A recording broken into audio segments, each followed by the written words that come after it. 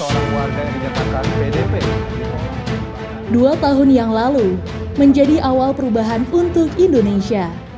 Saat itu, kondisi Ibu Pertiwi sunyi dan membungkam segala mimpi.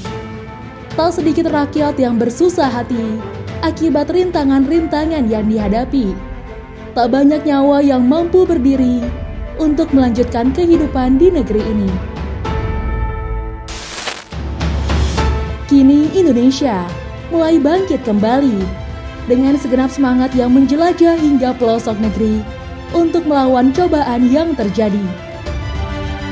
Meski tak semudah yang dibayangkan, ternyata Indonesia mampu untuk bertahan dengan terus melakukan perbaikan-perbaikan dan menjaga kesejahteraan.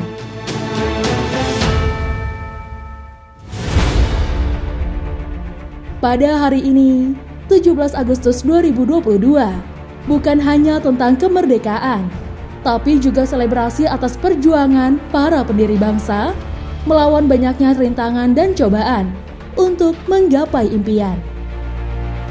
Selamat Hari Kemerdekaan Indonesia ke-77, Dirgahayu Indonesiaku. LDII untuk bangsa, Indonesia Merdeka.